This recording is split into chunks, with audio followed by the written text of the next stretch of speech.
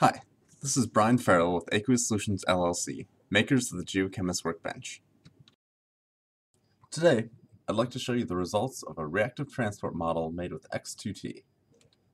The model simulates a steam flood of a hypothetical petroleum reservoir. Hot water is injected into the formation to stimulate production, but reacts with quartz, kaolinite, and calcite in the formation to produce carbon dioxide and swelling clay. The first animation shows a color map of temperature everywhere in the domain. The hot water spreads outward from the injection well and reaches much of the formation in just 20 days. Next, we see extensive carbon dioxide production resulting from the injection. The high temperature and CO2 both help to stimulate production in the reservoir. An unintended consequence of the steam flood is the growth of clay minerals in the formation.